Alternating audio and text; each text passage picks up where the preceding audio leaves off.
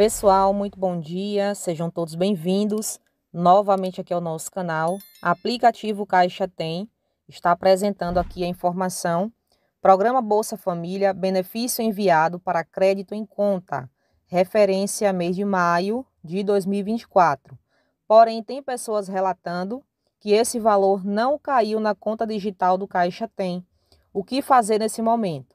Gente, quando apresenta aqui essa bolinha laranja com a exclamação dentro, e a informação enviado para crédito em conta significa que o pagamento já foi efetuado na sua conta. Pode ser no Caixa Tem ou até mesmo pode ser em outra conta da Caixa, como por exemplo, a conta Caixa Fácil. Então, primeiramente você vai acessar a sua conta, caso você tenha a conta Caixa Fácil.